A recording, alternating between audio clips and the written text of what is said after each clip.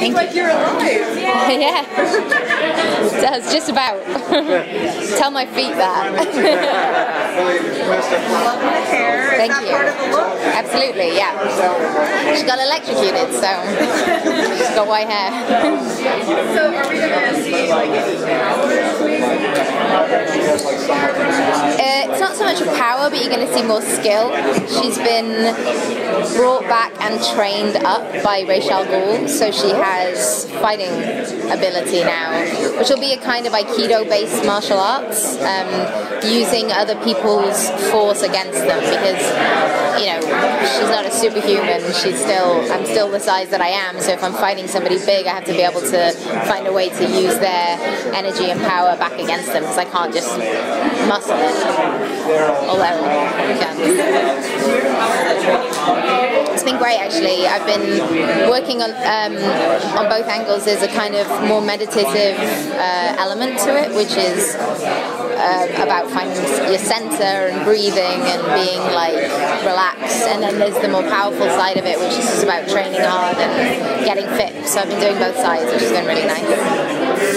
given uh, Ra's al Ghul's relationship with your character now and his relationship later on with Bruce, are you gonna get any scenes with me?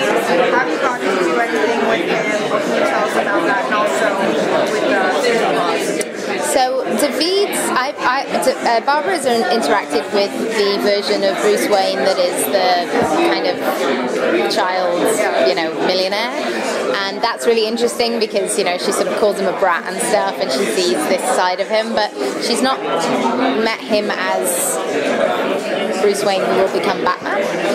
So I think that would be a really interesting development. Um, but I, I'm, I'm not sure whether the, I'm not sure that anybody can know him like that, other than you know Alfred mm, and maybe you know well Raj, Ra's al Ghul, obviously maybe Jim. You know I think that pocket has to be quite self-contained. Otherwise everybody would just know who Batman was. You talked a little bit in the panel about you and the Tabitha character, the character, kind of becoming a family triumvirate, so Yeah. to speak, which kind of evokes thoughts of like the Gotham City Sirens. Yeah. Um, is that something that's currently going to be adapted to storylines of the Sirens?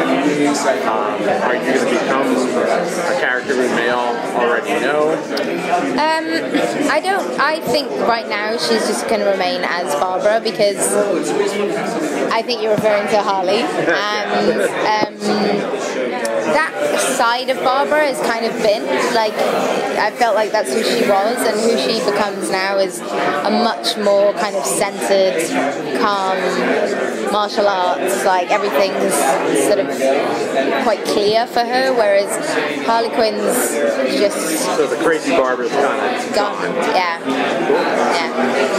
So how is it portraying a character that is like that isn't based on any other like specific canon character, but is full inspiration from other places? Is that freeing, or do you kind of wish that you had someone to go off of?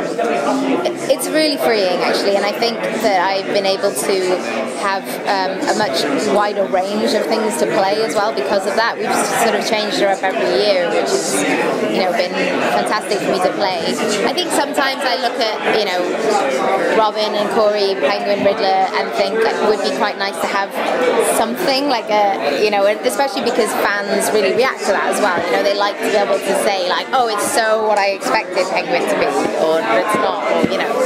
So it's there's both of those sides of things, but I'm really happy with the kind of amazing art that she's had, and the and the fact that we've been able to create characters, really brilliant. Thank you guys. Thank you very much. Thank you so much.